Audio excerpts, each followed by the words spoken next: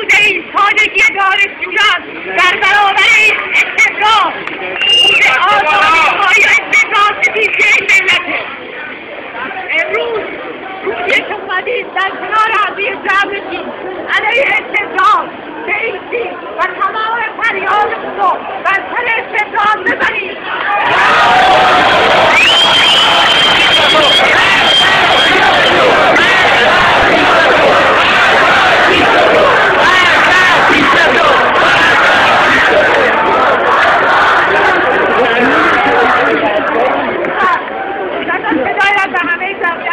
می‌رسه بیشتر توصیه گرفتید مفصل دوستانی هستن. که می‌خوان به نمایندگی از شما. سخنشون رو با همه دیکتاتورها و مشترکین این مملکت رو مواضع رو بگن بگن که ما استقبال رو دیگه نمیپذیریم.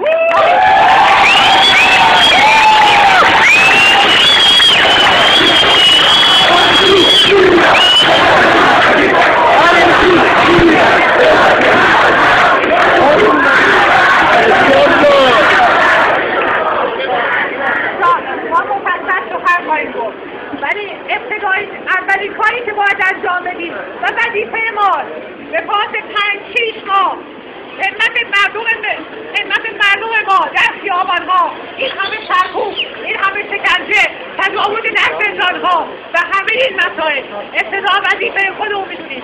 کنار درهای ورودی دانشگاه بریم. و یک بار دیگه اتحادمون رو همراهیمون رو همبستگیمون رو